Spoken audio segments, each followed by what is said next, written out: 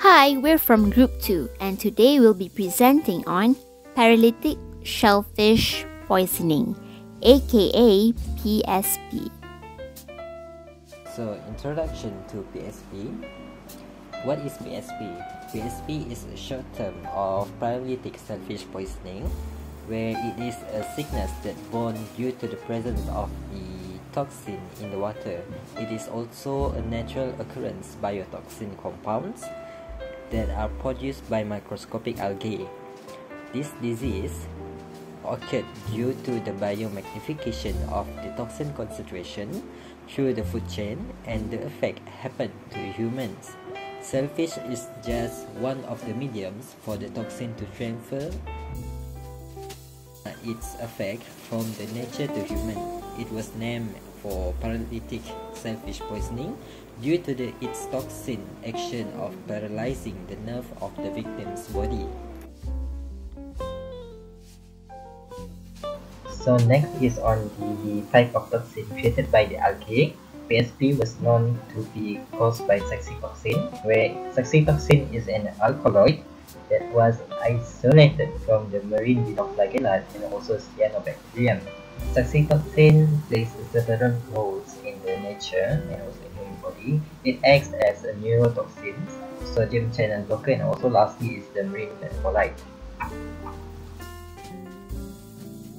Moving on to the organisms involved in paralytic shellfish poisoning. Red tides are usually caused by three known marine dinoflagellate genus, which are Gymnodinium, Pyrodinium, and Alexandrium. They will then be filtered by shellfish such as mussels, oysters, clams, and scallops.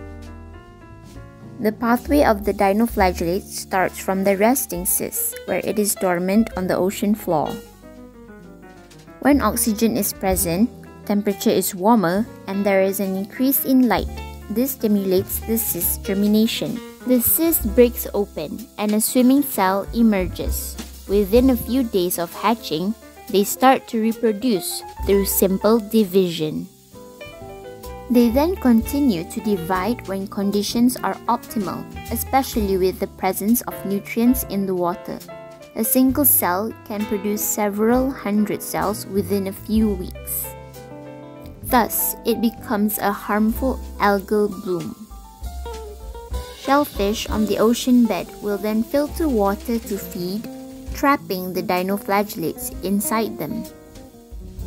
Shellfish are either consumed by humans directly or humans consume the fish that preyed on the shellfish.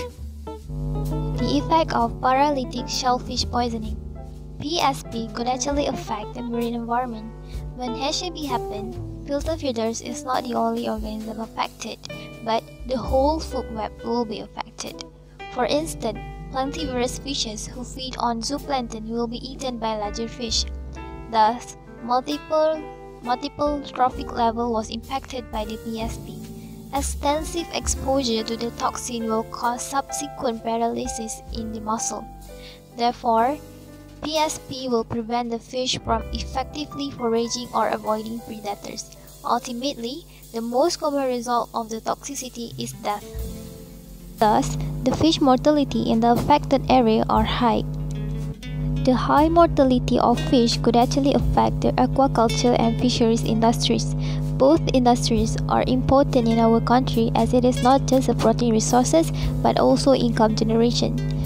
Low production in aquaculture and fisheries would definitely lowering the economic condition.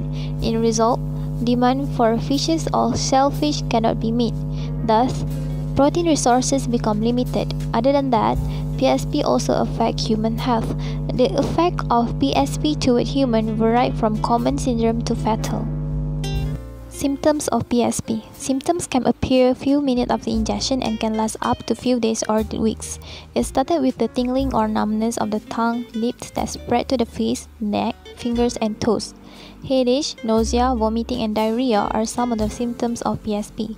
Other than that, severe case including fatal also occur if the dose of the toxin are too high.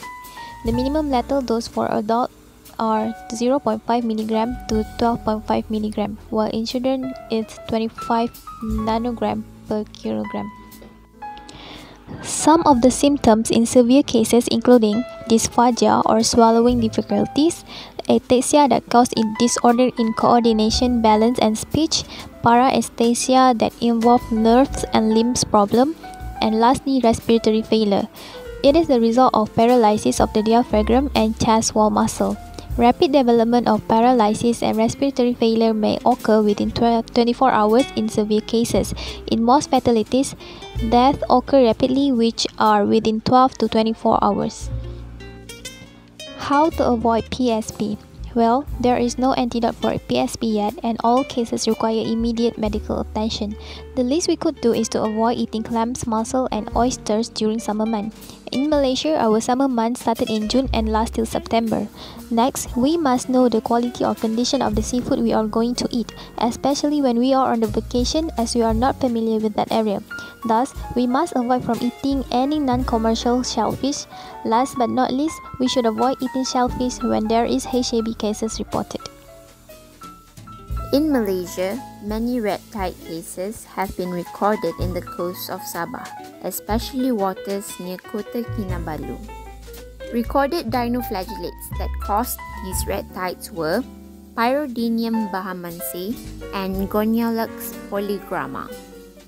These red tides will be detected every few years off the west coast. The Sabah Fisheries Department will always issue a red tide warning to prohibit people from selling and consuming any type of shellfish from the infected area. Fish cage farmers are also advised to move their fishes into tanks to prevent losses of their farmed fish. One of the worst outcomes recorded was in 2013 where a group of people consumed cockles from Sepanggar waters. Six people were down with poisoning due to the red tide, and two of them lost their lives from the effects of PSP. Climate change have been causing an increase in sea surface temperature. This may affect the frequency of red tides in the future.